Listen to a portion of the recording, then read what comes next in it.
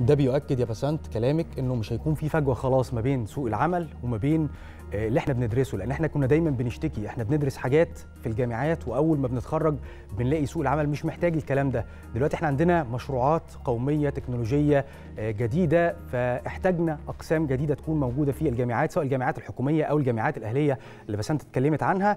فبقى في أقسام جديدة بتخرج آه، منتج نقدر نسميه منتج لأنه الخريج ده بيكون مؤهل للعمل في آه، سوق العمل الجديد. بصراحة الجامعات المصرية في الست سنين اللي فاتوا حققت نقلة كبيرة جدا في التصنيفات العالمية ودخل عدد كبير منها بالمناسبة في هذه التصنيفات واللي ظهر تأثيره طبعا في عدد كبير من الملفات. هل أو إيه اللي يثبت صحة كلامي؟ إنه الطلاب الوافدين وصلوا ل 87 ألف طالب في سنة 2020 بزيادة قدرها 65 ألف طالب عن سنة 2014 ده غير طبعا زيادة الميزانية المخصصة للتعليم العالي ل 65 مليار جنيه. مش بس كده تم كمان إدراج 16 جامعة مصرية بمراكز متقدمة ضمن أعلى 500 جامعة عالميا. في 16 تخصص بحسب طبعا تصنيف شنغهاي الصيني للتخصصات لعام 2020 واللي بينت تميز 16 الجامعة المصرية من حيث آه، جودة الأبحاث المنشورة في أفضل المجلات آه، المتخصصة عالمياً. نروح مثلا جامعة المنصورة. حصلت على ترتيب متميز للغاية بين الجامعات على مستوى العالم وده في تصنيف مجلة التايمز البريطانية للجامعات في الاقتصاديات الناشئة في النص الأول من عام 2021 وهي الجامعة المصرية الوحيدة بالمناسبة في الترتيب العالمي ضمن أفضل 100 جامعة على مستوى العالم. احتلت الترتيب رقم 94 لأول مرة في تاريخها وفي تاريخ الجامعات المصرية وكمان احتلت الجامعة يمكن المركز الأول على مستوى الجامعات المصرية للعام الثالث على التوالي. نيجي دلوقتي نتكلم عن الجامعات الأهلية. دلوقتي إحنا اتكلمنا عن الجامعات الحكومية وتطوير الجامعات الحكومية والأقسام الموجودة فيها والمراكز أو التصنيفات اللي حصلت عليها. هنتكلم دلوقتي مع حضراتكم عن الجامعات الأهلية اللي يمكن بسنت اتكلمت عنها في البداية. عندنا أربع جامعات أهلية. جامعة الملك سلمان الدولية بفروعها الثلاثة جامعة الجلالة العالمين وجامعة المنصورة الجديدة.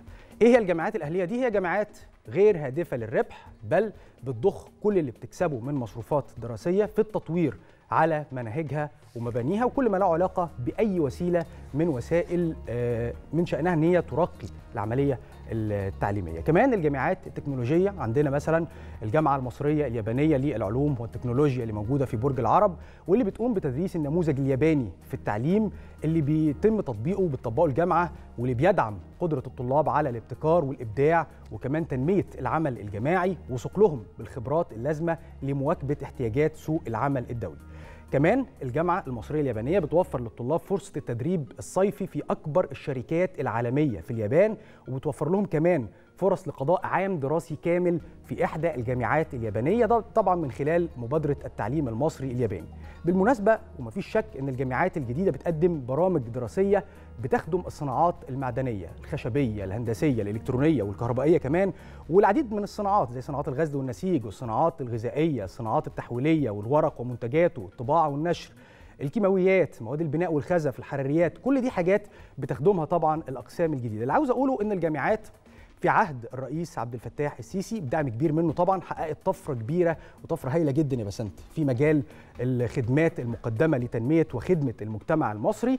وعندي مثال صغير كده أكيد حضراتكم فاكرينه. فاكرين مشروع اشتراطات البناء الموحد ودور الجامعات في إصدار تراخيص اشتراطات البناء عشان يكون دورها تطبيق ضوابط العمران المصري ده لأن الجامعات المصرية عندها إمكانيات وعندها خبرات كبيرة جدا من القوة البشرية والقدرات العلمية كمان والمعملية اللي بتؤهلها للانخراط الجيد في تنمية وخدمة المجتمع المصري.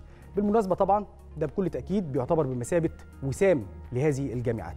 تابعونا النهارده هيكون معانا تفاصيل كتيرة جدا هتهمكم طبعا هنتكلم فيها عن التعليم العالي في مصر مستقبل التعليم مستقبل الجامعات. كل التفاصيل دي هتهم أولياء الأمور هتهم الشباب اللي خلصوا ثانوية عامة واللي لسه كمان هيدخلوا عشان عايزين يعرفوا بكرة في إيه. صبح على حضراتكم مرة ثانية وصباح الخير يا مصر.